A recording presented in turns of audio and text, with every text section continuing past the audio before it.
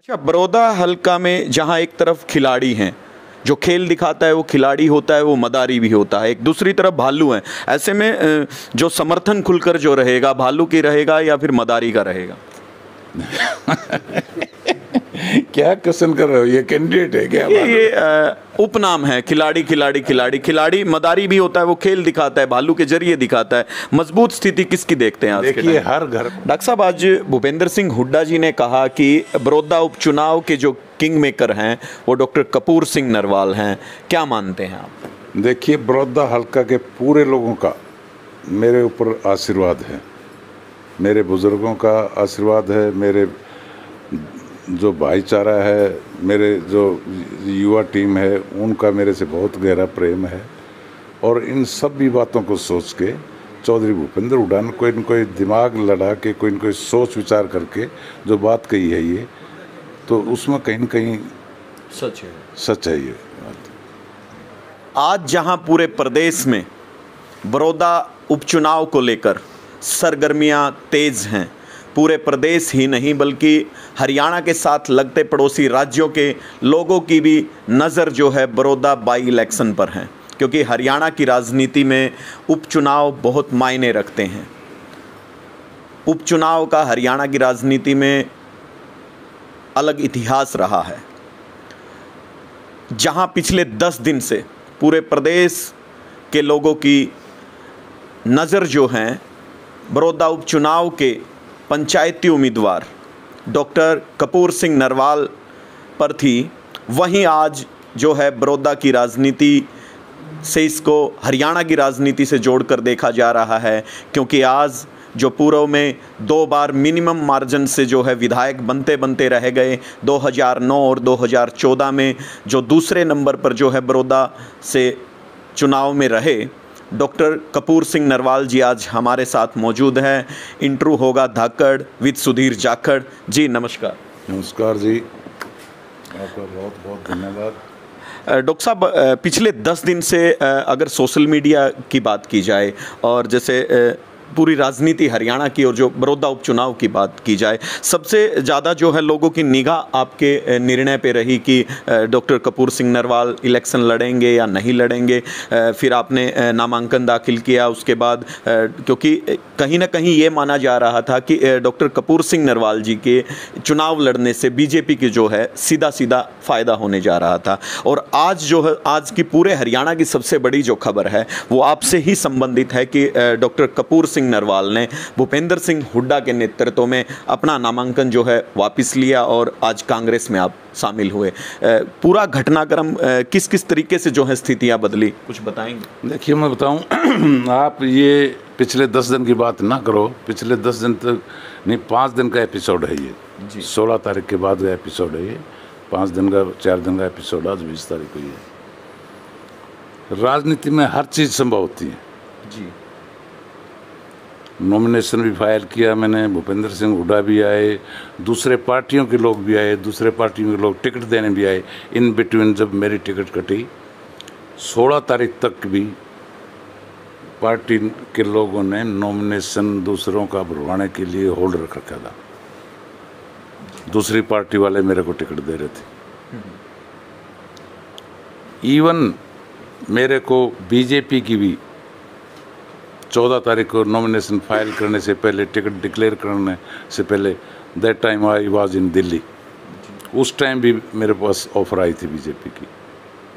लेकिन बीजेपी में मैं इसलिए नहीं गया, मैं एक किसान का बेटा हूँ, मजदूर का बेटा हूँ। पहले मैं राजनीतिक नहीं हूँ, पहले मैं किसान हूँ। मैं मजदूर हूँ। मैंने उन लोगों की सोच के लिए इस बीजेपी से अपना पिंड छुटवाया था। तो फिर अगर बीजेपी से आपको चुनाव नहीं लड़ना था तो आपने बीजेपी की टिकट जो घोषणा हुई उसके बाद ही जो है अपना फैसला जो है बताया कि आप चुनाव लड़ेंगे। फिर उससे पहले भी आप सार्वजनिक कर सकते थे बात? नहीं सार्वजनिक नहीं। चौधरी भूपेंद्र सिंह हुडा ने टिकट पंद्रह तारीख लास्ट डेट थी अनाउंस करने की। कांग्रेस की टिकट सुबह साढ़े दस बजे अनाउंस हुई है। आप पूर्व में दो बार जो है विधानसभा का चुनाव लड़ चुके हैं, दूसरे नंबर पर आप रहे हैं, मिनिमम वार्जन वोटों से जो है आप हारे हैं।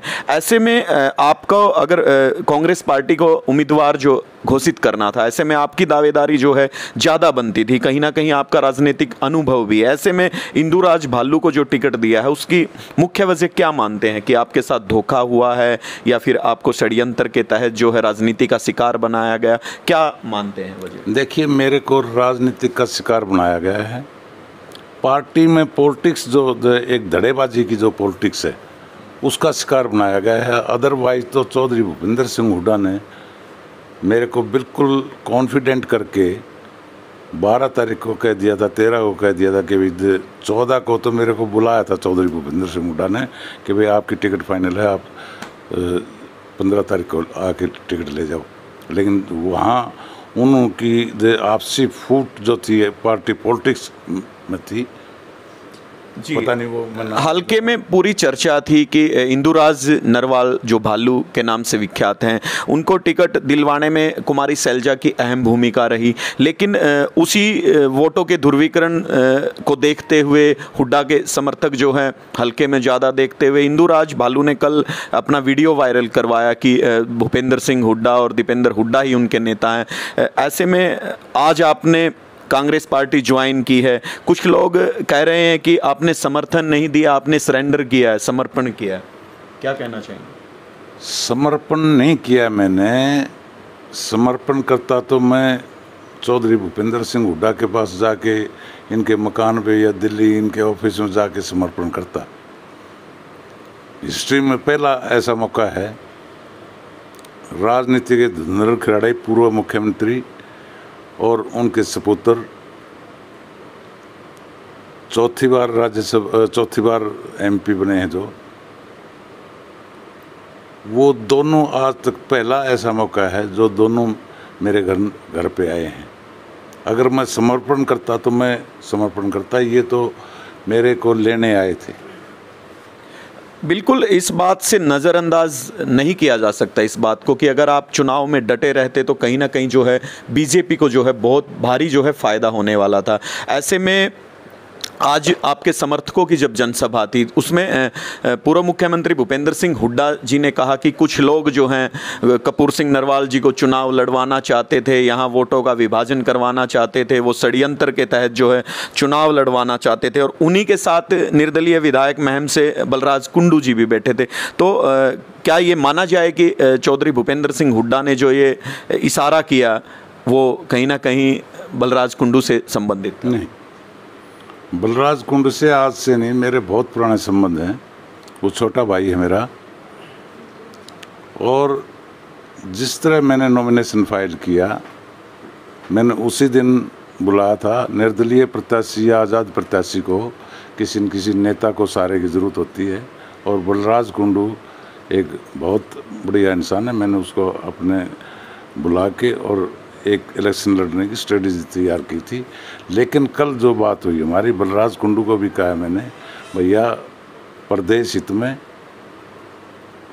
ये रहेगा कि किसान हित में, मजदूर हित में, व्यापारी हित में एक बात रहेगी कि आप भी अपना जो छोटा मोटा समर्थन है, यहाँ बड़ौदा हल्के में चुनाव लड़ रहे हैं, इसको वोटों का पोलराइजेशन को रोकते हुए आप भी मतलब पार्टी को तो नहीं कहता मैं कांग्रेस को समर्थन दे दो, लेकिन लोगों को समर्थन दे दो कि भाई आप जहाँ जीत निश्चित है वहीं वोट डालें। उनका इशारा था ये।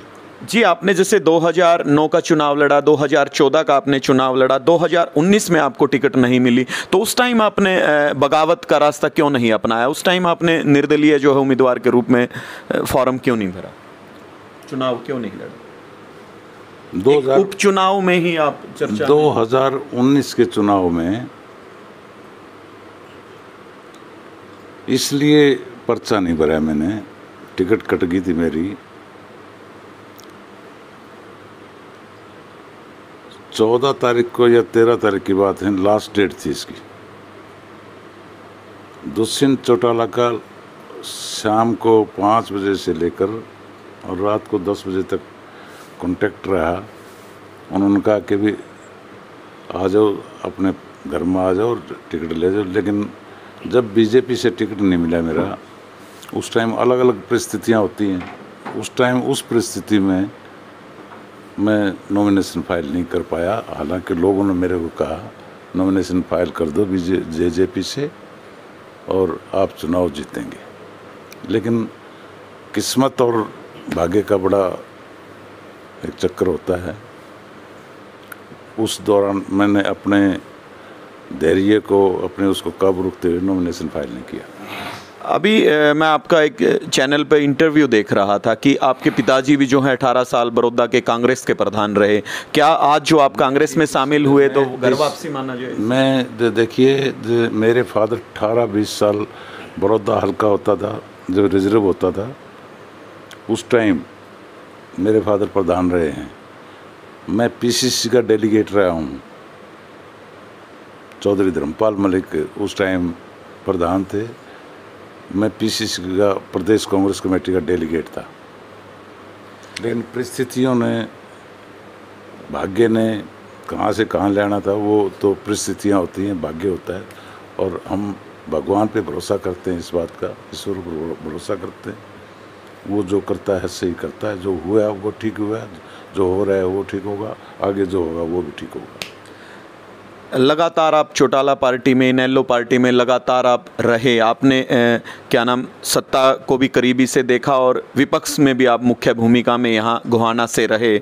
और ए, क्या नाम भूपेंद्र हुड्डा उस टाइम मुख्यमंत्री रहे। उनके खिलाफ आपने जो पार्टी के जो धरने प्रदर्शन विरोध आंदोलन रैलियाँ जो भी होती हैं वो सब आपने की। आज आप उसी पार्टी में जिन लोगों के खिलाफ आप आवाज़ उठाते थे जिनकी सत्ता के खिलाफ आपने चुनाव दो बार लड़ा आज उन्हीं लोगों के साथ जो है आप शामिल जो है कांग्रेस में हो गए। कहीं ना कहीं आप अपने खुद के मन की पीड़ा को छुपाने का या फिर खुद के मन के अंतर द्वंद को रोकने के लिए आज कांग्रेस में देखिए, ऐसा नहीं, बात ये नहीं है। मैं कभी भी, आज तक कभी भी किसी नेता को डायरेक्ट उस पर नहीं अटैक करता मैं। कहीं भी, जैसे हम जे जे पी में थे बीजेपी में गए, वहाँ गए, यहाँ गए, जहाँ भी गए, वो परिस्थितियाँ मेरे को लेगी। लेकिन मैं कभी भी राजनेता पे ये डायरेक्ट हमला नहीं करता। मैं तो पार्टी लेवल पे हमला करता हूँ। मेरे में एक बड़ी ये पेशेंस है, किसी पर्टिकुलर नाम लेके किसी को मैं टारगेट नहीं करता। पार्टी को आपके आपके मान सम्मान और आपके समर्थकों के मान सम्मान और उनके कामों को लेकर आज आपकी भूपेंद्र सिंह हुड्डा ने कोई ऐसा कोई आश्वासन दिया कि जिसकी वजह से आप मनोबल जो है आपका मज़बूत हुआ हो कि भविष्य में आपका पार्टी में यथा योग्य जो है मान सम्मान रहेगा या फिर आने वाले चार साल बाद जो चुनाव होंगे उनमें कहीं ना कहीं मुख्य भूमिका के साथ आपको बड़ौदा हल्का से उतारा जाएगा। ऐसा कुछ कमिटमेंट आपका हुआ? क्योंकि राजनीति भावना पे नहीं चलती है राजनीति कमिटमेंट पे आधारित होती है। देख मांगने से कुछ नहीं मिलता। मैंने अभी एक सेकंड पहले कहा था पीछे हुआ वो ठीक हुआ जो हो रहा है वो ठीक होगा अगला भी ठीक होगा।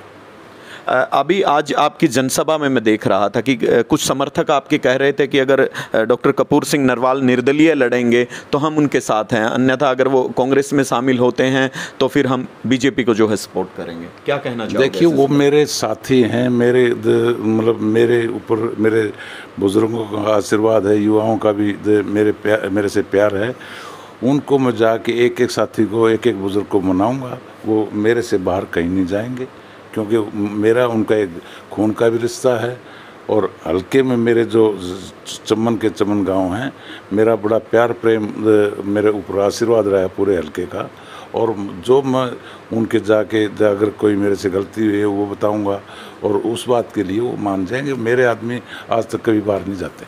अच्छा बड़ौदा हल्का में जहाँ एक तरफ़ खिलाड़ी हैं जो खेल दिखाता है वो खिलाड़ी होता है वो मदारी भी होता है। एक दूसरी तरफ़ भालू है। ऐसे में जो समर्थन खुलकर जो रहेगा भालू की रहेगा या फिर मदारी का रहेगा? क्या क्वेश्चन कर रहे हो? ये कैंडिडेट है क्या? ये, ये उपनाम है। खिलाड़ी खिलाड़ी खिलाड़ी। खिलाड़ी मदारी भी होता है वो खेल दिखाता है भालू के ज़रिए दिखाता है। मज़बूत स्थिति किसकी देखते हैं देखिए हर घर में आपका भी कोई निकनेम होगा। हिंदू राज नरवाल है जो कैंडिडेट है ये। इसका निक नेम है घर का ये। जी। नहीं वो बड़े फक्र के साथ कहते हैं कि हाँ मैं भालू हूँ। मैं उस लहजे में मैंने आपसे नहीं वो निकनेम है उनका। अ, हमारे साथ जुड़ने के लिए द लोकल न्यूज़ के साथ बात करने के लिए बहुत बहुत धन्यवाद आपका। आपकी चाय ठंडी होगी मेरे ख्याल धन्यवाद आपका बहुत जी। बहुत धन्यवाद। आप देख रहे थे द लोकल न्यूज़ और मैं हूँ आपका सुधीर जाखड़। और तमाम जो हैं खबरों पर अपडेट पाने के लिए जुड़े रहें हमारे साथ। धन्यवाद।